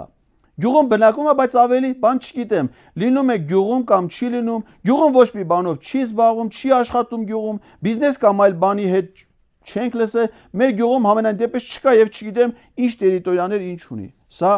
այն կինն է, որը հիմնադրել է Եվրոասֆալտ 1 ընկերությունը եւ որոշել, որ դրա տնօրենը պետք է լինի Ալեն Սիմոնյանի եղբայրը։ Այդպիսի որոշում են կայացրել նաեւ երկու այլ կանայք, չգիտես ինչի կանայք, որ ընկերություններ են հիմնադրում, որոշում են, որ իրաց տնօրենը պետք է լինի Ալեն Սիմոնյանի եղբայրը։ Սվետլանա Պողոսյանն ու Լուսիկ Գևորքյանը վերջինս գրանցված է Ռուսաստանի Նովոսիբիրսկ քաղաքում։ Եվ ահա այս երկու կինը, Սվետլանան եւ Լուսիկը, որոշում են հիմնել Եվրոասֆալտ ՓԲ-ն, եւ ես հիմա փորձեմ պատկերացնել, թե ինչպես է տեղի ունեցել այդ բաժնետիրական ընկերության հիմնադիր ժողովը իրար արջև նստված են երկու կին գործարարներ՝ Լուսիկն ու Սվետան։ Աղջի Լուսիկ, ի՞նչ ես կարծում։ Մի հատ բիզնես չանենք, մի բանով զբաղվենք էլի։ Ասում է, իսկ ի՞նչ ես առաջարկում, ի՞նչ անենք։ Միգուցե լավաշ թխենք ծախենք։ Լավաշ հիմա ով ասես դրանով զբաղվում է։ Բեր հիմա մեր կառավարությունը ասֆալտի գործ անում։ Ամենտեղ ասֆալտ են սարքում։ Միգուցե մի հատ ասֆալտով զբաղվող ճանապարհաշինական ընկերություն հիմնենք։ Շատ լավ։ Որոշում են զբաղվել ասֆալտ անելու բիզնեսով։ Եվ առաջին հարցը, որ պիտի հիմնադիրները որոշեն, դա ընկերության անվանումն է։ Լուսիկ, ի՞նչ դնենք մեր ընկերության անունը։ Լուսիկն առաջարկում է, որ կարելի է դնել իմ քայլը, քանի որ դա ստեղծվել է հեղափոխությունից հետո բայց առարկությունը մյուս բաժնետիրոջ կողմից ասում է չեն կարող դնել իմ քայլը, որովհետև իմ քայլը անունով Նիկոլ Փաշինյանի կին Աննա Հակոբյանը արդեն ստեղծել է հիմնադրամ Եվ այդ հիմնադրամում արդեն բազմաթիվ գործարարներ, նախկին օլիգարխներ միլիոնավոր դրամների, դոլարների մուծումներ են անում։ Մենք ոչ թե պիտի դրա անունը դնենք իմ քայլ, այլ հակառակը մեր ասֆալտի բիզնեսից եթե փող աշխատենք, եթե խելքներս հասնում է հաջողության մասին եք մտածում, մենք ինքներս պիտի իմ քայլը հիմնադրամին գումար վճարենք, ոչ թե դրա անունը օգտագործենք։ շատ լավ։ Այդ դեպքում ասում է Ինչ առաջարկություն ես։ Ասում է, քանի որ ես Նովոսիբիրսկից եմ, բեր անունը դնենք ռուս ասֆալտ։ Առարկում ամյուս սեփականատեր ասում է, չէ, ես ոնց հասկանում եմ, ռուսները մեզ չեն օգնելու պատերազմի ժամանակ եւ դրանից հետո, հապկը մեզ չի օգնելու, եւ մենք դուրս ենք գալու ռուսաց։ Արի դնենք եվրո ասֆալտ։ Եվ ահա բաժնետերերը գալիս են կոնսենսուսի եւ ընկերության անունը դնում եմ եվրո ասվատ։ Եվ հիմա հարց առաջանում, իսկ ում նշանակել ընկերության տնորեն։ Իրանք չեն կարող զբաղվել որպես այդ, որ ասում բեր մի փորձառու մեկին դրեն։ Առաջարկություն կարար լիներ, որպիսի ընկերության ղեկավարը լիներ Արմեն Փաշինյանը, Նիկոլ Փաշինյանի եղբայրը, որը Հայաստանը վերադարձել 2018 թվի հեղափոխությունից հետո։ Բայց Բաժնետերից մեկը խստագույնս առարկում ասում է Արմեն Փաշինյանը արդեն իսկ 4 տարբեր ընկերությունների գործադիր տնօրեն է, որոնք բոլորն էլ պատկանում են Խաչատուր Քոբոբելյանին, եւ այդ ընկերությունները չնայած ունեն մի քանի միլիոն դոլարի կապիտալ, բայց նա ձեռքաբերել ընդամենը 50000 դրամով եւ պատահաբար նրանց 4-ի տնօրենն էլ դարել է Արմեն Փաշինյան եւ նա զբաղված է, չի կարա լինի Եվրոասֆալտի տնօրեն։ Առաջարկում են, որ տնօրեն միգուցե լինի Աներձակ Հրաչը բայց նա չի կարող, բայց նա падգամավոր է, նա չի կարող զբաղվել ձեռնարկատիրական գործությամբ։ Երկրորդը, եթե զբաղվել, ուրեմն նա պիտի կոկ արծիքով լուսիկ ինքը իր ծխախոտի գործը թողնի կամ իր համար ասֆալտ անի։ Չի լինի։ Լավ ասա, բեր ընտրենք նենց մի հատ տնորեն, որ անունը Լենի հետ կապված ճանապարհը պիտի Լեն լինի, էլի նենց մի հատ անունով մարդ է, որ Լեն բառը մեր Կարլեն, Կարլեն եւ ով կա Կարլեն անունով մեր շրջապատում, Ալեն Սիմոնյանի եղբայրը եւ իսկ թվում է այդ սկզբունքով է ընտրվել Կարլեն Սիմոնյանը որպես թե չէ նա ինչ կապ ունի հիմնադիրների հետ Նիկոլ Փաշինյանը ասում է ի՞նչ է որ Ալեն Սիմոնյան ազգային ժողովի նախագահ նրա եղբայրը ոչ մի բանով պիտի չզբաղվի ոչ մի գործով ուրեմն Սվետան ու Լուսիկը իրավունք չունեն իրանց ընկերությունում տնորեն նշանակեն Կարլեն Սիմոնյանին իհարկե ունեն եւ այդ ընկերությունն էլ իրավունք ունի մասնակցելու նաեւ ճանապարհաշինական մրցույթներին հիմնադրամից կարճ ժամանակ անց, այն դեպքում, երբ որ նման տենդերների մասնակցող ընկերությունը պետքա կենսագրություն ունենա, հաջող փորձ ունենա, արդեն իրականացրած լինի մի շարք ծրագրեր, պայմանագրային խախտումներ թույլ տված չլինի, գնումների մասին օրենքի այդ պահանջված ռեեստրում բացասական քեշ չունենա, որպիսի կարող չէ, Եվրոասֆալտին դա չի վերաբերում։ Եվրոասֆալտը մի անգամից կնքում է պայմանագիր. 368 միլիոն դրամի չափով տարածքային կառավարման եւ ենթակառուցվածքների նախարարության հետ։ Իդեպ ինչն է հետաքրքիր, որ նույն Կարլեն Սիմոնյանը մեկ այլ տեղ հա, ուրեմն գրանցված է որպես այլ ընկերության փոխտնօրեն եւ այդ ընկերությունը կոչվում է TS Construction եւ այն հիմնվել է 2019 թվականին նորից ադրբեջանա-թուրքական հեղափոխությունից հետո Իսկ բաժնետերը Երևանում գրանցված Մարիետ Ավակյանն է։ Ինչպես տեսնում եք, օրինաչափությունը պահպանվում է։ Եթե մի կին կամ կանայք հիմնադրում են ընկերություն, ապա նրանք նախապատվությունը տալիս են Դոն Ժուան Կարլեն Սիմոնյանին։ Իսկ ահա այս TS Construction ընկերությունը նրա ղեկավարը գնե տարածքային կառավարման նախարար, որը տվել էր տենդերը մեկ այլ ընկերությանը, գնել Սամսոնյանի համագյուղացին է Արսեն Միքայելյանը, որը որ նաև այդ ընկերությունը 5 միլիոն դրամի նվիրատվություն է կատարել քաղաքացիական պայմանագիր կուսակցությանը։ Իհարկե այս ամենը կոռուպցիայի հետ կապելը շատ դժվար է կոռուպցիայով զբաղվողների համար։ Իսկ մեր պարագայում դա առավել քան ակնհայտ է։ Ալեն Սիմոնյանի հովանավորչությունը այս եվրո ասֆալտներով եւ construction ընկերություններով չի սահմանափակվում։ Նրա հովանու տակ է գտնվում նաև Կրյոսնի աճեցը, չէ, ֆիլմի չէ, իր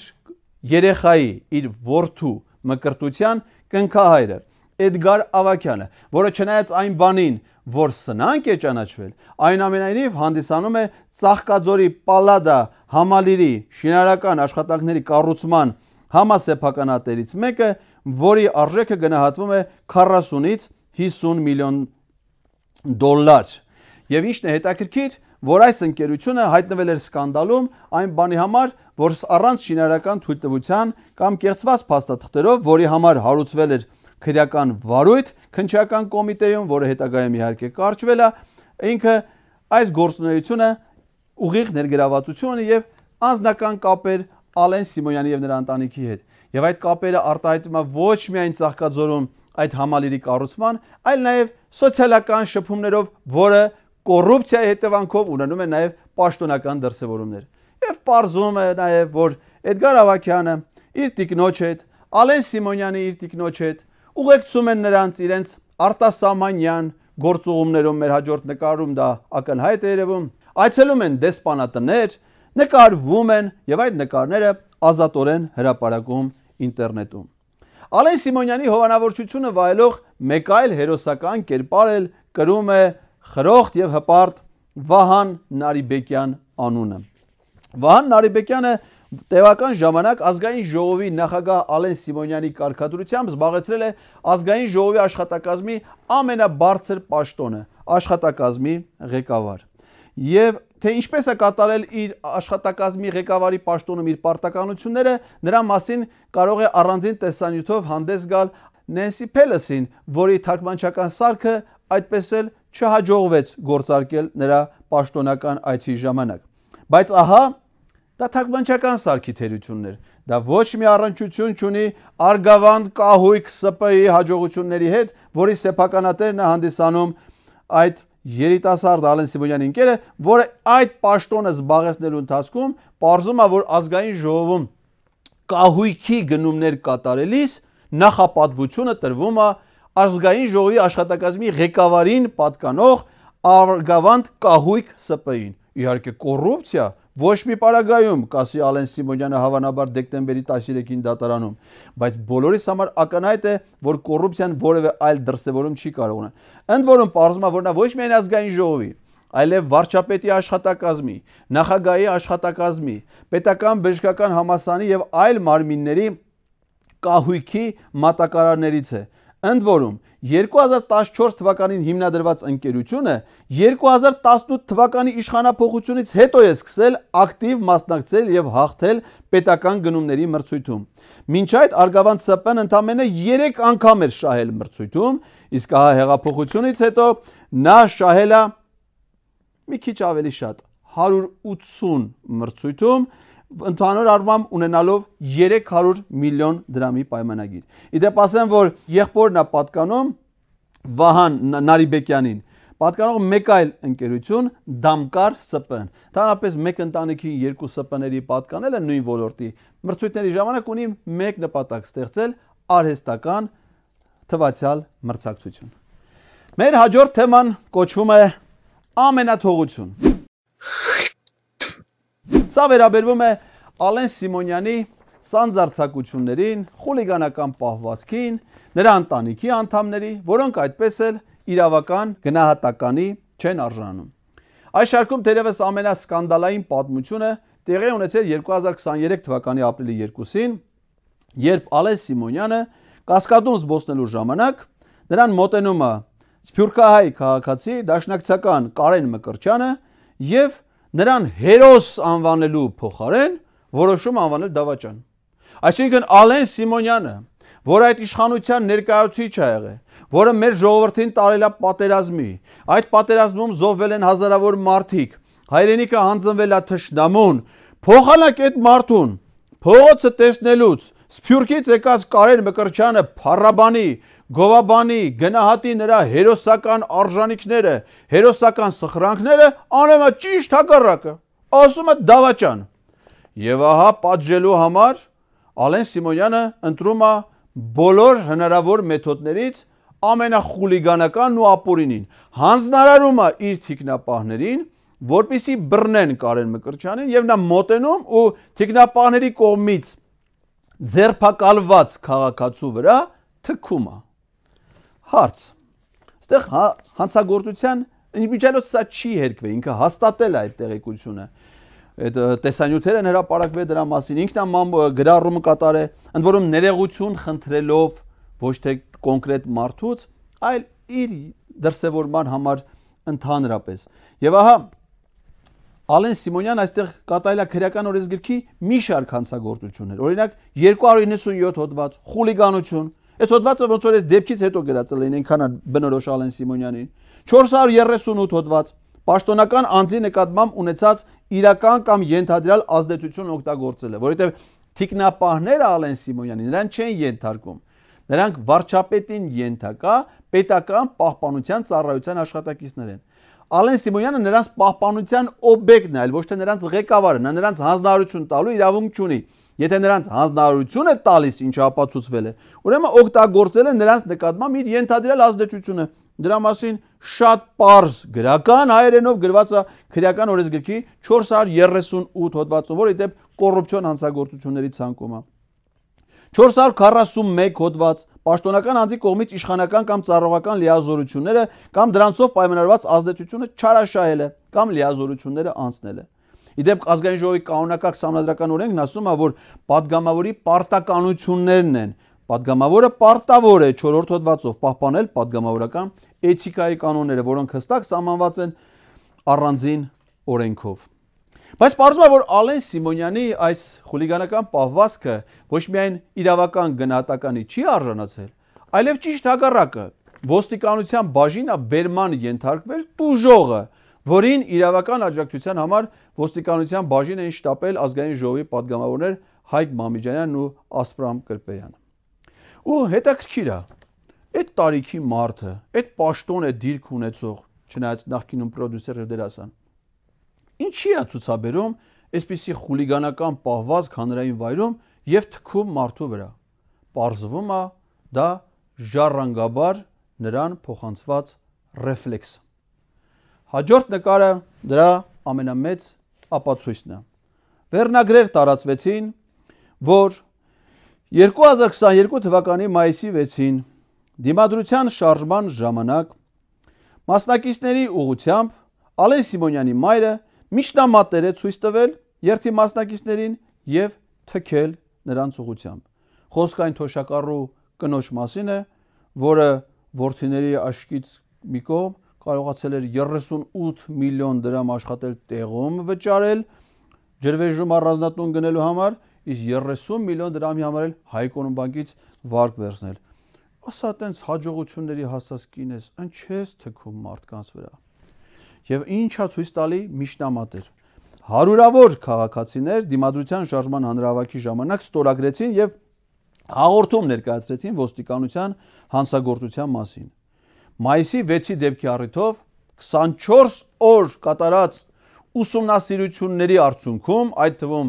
Ալեն Սիմոնյանի մայրիկից ստացված բացատրություններից ոստիկանությունը որոշել է քրեական վարույթը կարճել հետևյալ բացատրությամբ։ Միշտամատը անպարտելության պատմական ժեստ է։ Ինչ վերաբերում է թքելու դրվագին, ապա Ալեն Սիմոնյանի մայրն ասել է, որ ոչ թե թքել է, այլ դերասանական շատ մեծ վարպետությամբ թքելու իմիտացիա արել։ Իբր թե թքում է։ Բայց դա միակ խուլիգանական դեպքը չէ սկանդալային պատմության, որում հայտնվել է Ալեն Սիմոնյանը։ Երբ որ ազգային ժողովի փոխնախագահ էր, 2020 թվականի ապրիլի 29-ին միջադեպ էր տեղի ունեցել adekvat կուսակցության նախագահ Արթուր Դանելյանի հետ։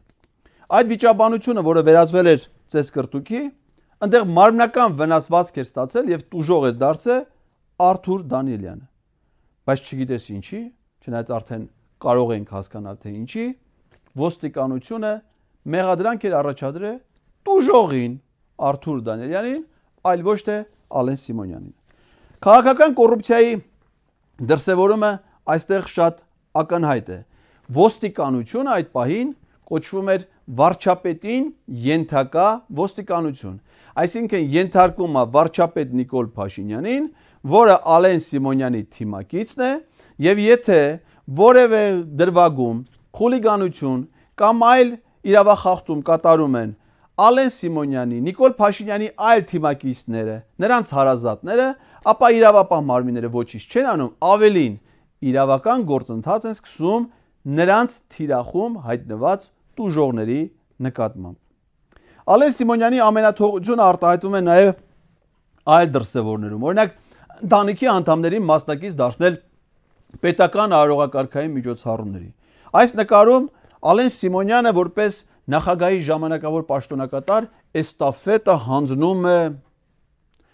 նորին գերազանցություն նորընտիր նախագահ Վահագն Խաչատուրյանին, որը այդ պաշտոնում ընտրվել է ընդամենը քաղաքացիական պայմանագիր խմբակցության կողմից, ոչ մի ընդդիմադիր падգամավոր, այդ քվեարկությանը չէր մասնակցել։ Եվ ահա Վահագն Խաչատուրյանին նախագահական նստավայրում դիմավորում է Ալեն Սիմոնյանի անչափահաս դուստրը։ Դա պետական արարողակարգում ոչ մի տեղ նման բան նախատեսված չի, անգամ չի թույլատրվում։ Իսկ այդ օր եղավ նաև մի սկանդալային պատմություն։ Նախագահի նստավայրում գտնվում է Հայաստանի Հանրապետության գլխավոր դրոշը, այսինքն որպես խորհրդանիշ հիմնական դրոշը, որը միշտ տեղափոխվում է միայն պետական պահպանությամբ հատուկ զինվորական կարգով։ Եւ Ալեն Սիմոնյանի դուստրը հերիք չի խաղում էր այդ դրոշի հետ, թաքնվում դրա հետևը։ Դու երեխայա նրան չես կարա մեղադրես։ Իսկ մայրը, նրա ծնողը, հայրը, որը գտնվում այդ պահին, ոչ միայն չեն արգելում երեխային այդ անմեղ մանուկին խաղալ այնտեղ որտեղ նա չպետք է գտնվեր, այլ ավելին նկարում եւ տարածում են այդ տեսանյութը։ Ալեն Սիմոնյանի ամենաթողությունը արտահայտվում է նաև յուրայիններին, թիմակիցներին տարբեր պաշտոններում նշանակելու միջոցով։ Այս նկարում պատկերված է այն նույն հերոսուին, որին քիչ առաջ անդրադարձանք, Հասմիկ Հակոբյանը։ Նրա արտակինից դժվար է կռահել որևէ մեկը, որ նա կարար լիներ ազգային ժողովի падգամավոր։ Բայց նա ազգային ժողովի падգամավոր դարձել 2021 թվականին։ Իսկ հա դրանից առաջ Ալեն Սիմոնյանի օկնականը։ Իդեպ ասեմ ձեզ, որ օկնականների падգամավոր դառնալ ամեն սովորական երևույթ է կամ անձնական, խնամիական, խավորսանիկական կապերը այս իշխանությունը դա ամենասովորական երևույթն են։ Ոչ միայն Հասմիկ Հակոբյանց անունները, որ չկարդաց երբեք չես հիշի։ Հասմիկ Հակոբյանն է դարձել падգամավորի օկնականից падգամավոր այլ ասենք Լիլիթ Մակունցի օկնականը նույնպես դարել է падգամավոր։ Այնտեղ էլի դեպքեր կան, ես վերջերս մի падգամավոր կար, որ իր ամուսնուն ընդունել էին ազգային ժողովում աշխատանքի որպես իր օկնական։ Իսկ ինքը նախորդ գումարման ազգային ժողովում եղել էր մեկ այլ падգամավորի օկնական։ Իհարկե սա այն ամենավատ դեպքերն է, որովհետև հաջող պատմությունները success story-ներ ազգային ժողովում, ասենք օրինակ Լենա Նազարյանն է, որի ամուսինը ոչ թե ազգային ժողովի падգամավոր Լենա Նազարյանի օկնականն է, այլ ինքը նույնպես падգամավոր է։ Կամ ասենք օրինակ Նիկոլ Փաշինյանի աներձակը, հրաչը, որը նույնպես падգամավոր է, կամ Նիկոլ Փաշինյանի Խավորի եղբայրը, Խավորը падգամավոր չի, որովհետև Տավուշի մարշպետն է, իսկ ահա նրա եղբայրը ազգային ժողովի падգամավոր։ Այս երևույթը ես խորհրդանում սովորական երևույթ է, իսկ ինչ էր ասում կոռուպցիայի սահմանումը, ընտանյապետություն, հովանավորչություն, երբ որ ինչ-որ քո ազգականներին, բարեկամներին, մտներիմներին առանց արժանիքների կարողանում ես տեղավորել պետական պաշտոնների։ Այդ ոնց որ թե հենց սրա մասին է։ Բայց ազգային ժողովում կոռուպցիոն դրսևորումների մի ցայտուն օրինակ արձանագրել էին մոտ 3 տասնյակ կազմակերպություններ եւ մի քանի 100 քաղաքացիներ։ Դա եղել էր 2021 թվականի հուլիսի 15-ին։ Ուրեմն ուշադրություն ամսաթվերին։ 2021 թվականի հուլիսի 15-ի դրությամբ 7-րդ գումարման ազգային ժողովը արցակվել էր եւ արդեն հունիսին, այսինքն դրանից մոտ 1 ամիս առաջ, արդեն տեղի էր ունեցել արտահերտ ընտրություն։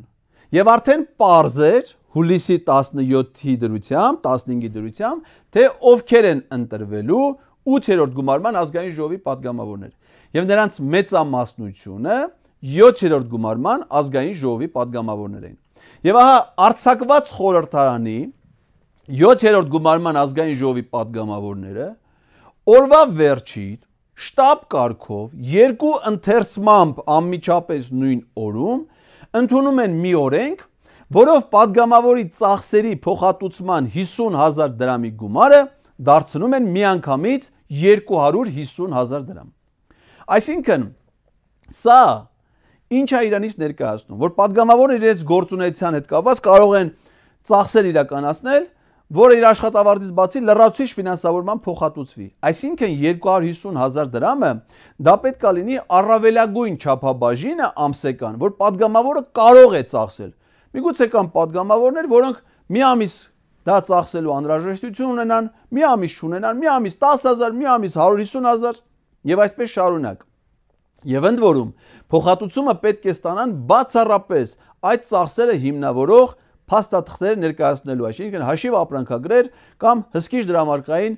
ուրեմն կտրոններ ներկայացնելու դեպքում, բայց դա վերաբերում է նորմալ տրամաբանությանը։ Իսկ քանի որ մեր ազգային ժողովը յուրահատուկ է, նրանք յուրաքանչյուր падգամավոր ամսական իր աշխատավարձից բացի Բոլորը հավասարաչափ, անկախ դրանից ծախսել են թե չեն ծախսել, առանց որևէ հիմնավոր փաստաթղթերի ստանում են նաև 250 հազար դրամ աշխատավարձ։ Իդեպ կան մի շարք падգամավորներ, նրանք եթե չեմ սխալվում, բոլորը առանց բացառության քաղաքացիական պայմանագիր խմբակցությունից, որ այս ամենի հետ միասին նաև ստանում են բնակարանի վարձակալության փոխհատուցման վարձ 100.000 դրամի չափով, այսինքն Երևանցի падգամավորը Երևանում ապրելու համար մեզնից ստանում է 100.000 դրամ լրացուցիչ գումար Այս օրենքը ընդունելու ժամանակ, երբ որ նույն օրը ստորագրեց հանրապետության նախագահը, տպեցին տեղեկագրում դարձավ օրենք, դրա վերաբերյալ հայտարարությամբ էին հանդես եկել գիտեք անգամ ովքեր Transparency International կազմակերպության հակակոռուպցիոն կենտրոնների ծրագրի ղեկավար Վարուժան Հոկտանյանը Պատգամավորների ծախսերի ավելացման փոփոխության այս տեսքով խայտարակություն է փողերի մսխում, ասել է Գյումրի ասպարեզ ակումբի ղեկավար Լևոն Բարսեղյանը։ Իսկ հակակոռուպցիոն կենտրոնը դա համարել էր քաղաքական կոռուպցիայի ուղիղ դրսևորում։ Ես իհարկե չեմ ուզում անդրադառնալ ապարքեվավճարներին, որոնք ստանում են падգամավորները, որովհետև դրանց ցանկը սարսափելի է։ Այսինքն, parberabar ժամանակ առ ժամանակ ազգային ժողովի կայքում բազմաթիվ են կարգադրությունները падգամավորներին ապարքեվավճար տալու համար։ Ինչ է ապարքեվավճարը։ Հնդեսագիտական գրականության մեջ դա սահմանվում է որպես աշխատանքային պարտականություններից զատ լրացուցիչ պարտականությունների կատարման դեպքում կամ պարտականությունները բացառիկ հաջողություններով ակնառու նվաճումներով կատարելու դեպքում տրվող լրացուցիչ վճար։ Հիմա ես ուզում եմ հասկանալ, թե մեր падգամավորները առհասարակ իդ ինչ բացառիկ պարտականություններ են կատարում, որ աշխատավարձից բացի նաև ապարքեվավճարներ են ստանում։ Իհարկե աշխատավարձն էլ ունի իր սահմանումը։ Աշխատավարձը դա աշխատանքի դիմաց տրվող վարձատրությունն է։ Օրինակ ազգային ժողովում կա падգամավոր Էդգար Հակոբյան, Դրա ունը երբ ոչ մեկ չի լսել։ Ես անամ, այդ մարդը ամենամիս աշխատավարձ է ստանում։ Հետաքրքիր է նա ի՞նչ է աշխատում, որ աշխատավարձ է ստանում։ Օրենսդրական նախաձեռնությունների հեղինակ չի, ելույթներ չի ունենում, հարցեր չի տալի, հարցազրույցների չի գնում, հանդիպումներ, իսկ չի աշխատում։ Եթե մարդը չի աշխատում ու վարձատրություն է ստանում, նրա վարձատրությունը աշխատավարձ չի կարա կոչվի։ Կարա կոչվի օրինակ ձերակերության նպաստ, անգործության փոխհատուցում, բայց ոչ աշխատավարձ։ Ուրեմն սրանք աշխատավարձը ստանում են հերիք չի։ Մի հատ էլ ապարքեվավճար, ու ասեն գիտեք ինչն է սարսափելին, որ վերջին անգամ ազգային ժողովի падգամավորները ապարքեվավճար են ստացել Արցախը կործանելու հրամանագրի ստորագրումից 2 օր հետո, ասեք է սեպտեմբերի 21-ին, մարտիկ անկախության տոնի առիթով, ովքեր կործանել են մեր երկրի անկախությունը, ստանում են պարքեվավճար անկախության տոնի առիթով։ Հեսա դեկտեմբերն է, նրանք մի հատ էլ պարքեվավճար կստանան այս ժամանակ։ Այս տոնական օրերի պարքեվավճարից բացի նրանք ստանում են գրեթե իրենց աշխատավարձի 30%-ի չափով, այսինքն մոտավոր հաշվարկը այսպեսին է՝ մոտ 600.000 դրամ աշխատավարձ,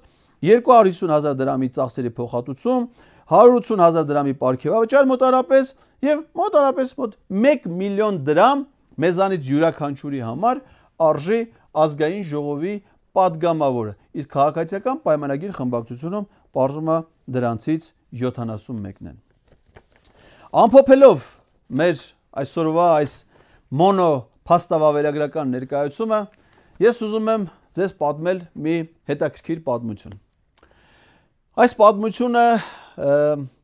ես լսել եմ, երբ որ աշխատում էի կառավարության աշխատակազմում, տարածքային կառավարման վարչությունում եւ պաշտոնի բերումով ուղեկցում էի վարչապետներին մարզային այցելությունների ժամանակ։ Վարչապետն էր Արամ Սարգսյանը մի խոսքով, որը հանրության ավելի հայտնի է Մանվել Գրիգորյանի եւ Սերյան Սարոյանի բնութագրմամբ, Հոպլոն նա Հայաստանի վարչապետ էր եւ մենք այցելել էինք Վայոց Զորի մարզ եւ այդ ճաշկերույթի ժամանակ Վազգեն Սարգսյանը նոր էր սպանվել, բոլոր խոսակցությունները բնականաբար մեծ մասը Վազգենի մասին էին, նրա հիշողությունների եւ նա մի շատ հետաքրքիր պատմություն պատմեց Վազգեն Սարգսյանից։ Բազում է որ Վազգեն Սարգսյանի մայից հետո, երբ որ ընտանիքին է փոխանցվել նրա անձնական իրերը հիմնականում աշխատավայրից եւ ծանոթացել են նրա անձնական իրերին, ողջվել է, որ Վազգեն Սարգսյան ունեցել է մի նոթատետր, որտեղ գրառումներ է կատարել, այսինքն ասույթներ, խոսքեր, հետաքրքիր մտքեր, որ լսել է, արձանագրել է։ Եվ Կրիլովի մի առակ Իվան Կրիլովի ռուս հայտնի առակագիր այնքան է դուր եկել Վազգեն Սարգսյանին, որ նա ոչ միայն արտագրել ամբողջությամբ այդ առակի իր նոթատետրում, այլ նույնիսկ վերջում մի վերջաբան ավելացրել է իր կողմից։ Կրիլովի այդ առակը իհարկե ոչ կարապի, ոչ խեսգետնի, ոչ գայլածուկի եւ ոչ էլ եղջերու մասին է։ Բայց ինչի եմ ես դա հիշատակում, դա վերաբերում է մի անմիտ ճնճղուկի։ Ինչ է ասում այդ առակը, ասում է որ ձմռանը մի ճնճղուկ անընդհատ ծառի ճյուղի նստած ծվծվում է եւ քանի որ ցուրտ է ալում, նա սառում անգնում է գետին ու արդեն պիտի ցրտահարվի սատկի պատահաբար մի կով գալի անցնում ու թրքոտում է այս ճնճուղիկի վրա։ Սա բնականաբար տականում է, տականում աշխուժանում, սկսում է նորից ծրծվալ, նորից ճղճղալ, կատուն գալիս սրան գտնում եւ ուտում։ Հեղինակը այս առակից կատարում է երկու հետևություն։ Միշտ չի որ քեզ կեղտոտողը քեզ վատություն անողն է, միշտ չի որ քեզ կեղտից անողը քեզ լավություն անողն է։ Եվ Ազգեն Սարգսյան այդ առակին ավելացրել է իր հետևությունը, երրորդ հետևությունը։ Եթե կեղտի մեջ ես, ձենդ գլուխդ մի գցի։ Հիմա սա վերաբերում է մեր օրվա հերոսին։ Հերիք չի ինքը, ոդքից գլուխ թաթախված է կոռուպցիայի մեջ, որին բնորոշ են կոռուպցիայի գրեթե բոլոր հնարավոր տեսակները, Պարզվում է, որ դիմելա դատարան եւ իզնից է պահանջում, որ ես ներողություն խնդրեմ իրենից իրեն կոռուպցիոներ անվանելու հարցում որպես զրպարտանք որակելով իմ ձևակերպումները։ Նա դատարան չի դիմել իր գործընկեր իր բնորոշմամբ քաղաքական տրյապկա հանդիսացող Էդմոն Մարուկյանի իր հասցեին տված որակումներին։ Էդմոն Մարուկյանը իրեն անվանել էր ազգային ժողովի նիստերի դալիճում անբարոյականի վաստակ։ Բայց Ալեն Սիմոնյանը չի դիմել դատարան ոչ վիրավորանքի մասով, ոչ զրպարտության, այսինքն նա չի համարել դա որպես վիրավորանք կամ զրպարտություն, այսինքն դա պետք է ըստ իրեն, ըստ իր հետագա հայցերի իրավական պատմության ընդունել որպես անվիճելի ճշմարտություն։ Բայց ահա որոշել է դատարան դիմի եւ ներողություն պահանջի մեզնից։ Իսկ ամփոփելու համար վերջնականապես մենք ստիված ենք հղում անել դասականներին, մեր ժամանակների խոշոր մտածողներին։ Եվ այսպես 21 մայիսի 2014 թվական Ազգային ժողովի падգամավոր Նիկոլ Փաշինյան ցիտում եմ. Ինչքան խոսում են առավոտից իրիկուն կոռուպցիայի դեմ պայքարից մեզ թվում է կոռուպցիան պոզով, պոչով, տտենց մի կենթանի, հա? Սա ասել է 2014 թվականին։ Անցնում է 5 տարի։ 5 տարի հետո Նիկոլ Փաշինյանը դառնում է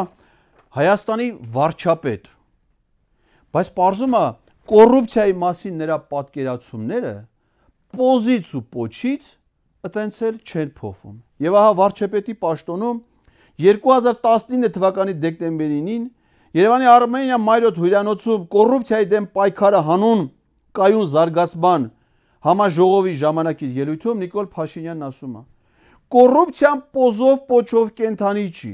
այն երբեմն գրավիչ եւ հաճելի տեսք ունի։ Կարծես թե ուղիղ փորձում է նկարագրել այսօրվա մեր հերոսին։ Իսկ մեր հերոսը Ալեն Սիմոնյանը 2022 թվականին փետրվարի 1-ին հանրային հերոստանգերության Պետրոս Ղազարյանին տրված հարցազրույցում ասում է հետևյալը. Եթե ես էլ կոռուպցիոներ լինեմ կամ որևիցե մեկը, մենք դրանից չենք պլստա։ Մենք կպատժվենք, եթե նման ուղությամբ գնանք։ Դա անհնար բան է, հայտարարել է Սիմոնյանը։ Այո, հայրենիքի հերթական գող ու դավաճան։ Դու եւ քո գործընկերները չեք պլստալու։ Դուք պատժվելու եք։ Եվ եթե մենք ստիպված ենք ձեր հայցով դեկտեմբերի 13-ին հանդիպելու քաղաքացիական դատարանում, ապա վստահեցնում եմ ձեզ, որ իմ հայցադիմումով մենք մի օր կհանդիպենք նաև քրեական դատարանում։ Այսքանը սիրելի հայրենակիցներ, բարին ընձեզ։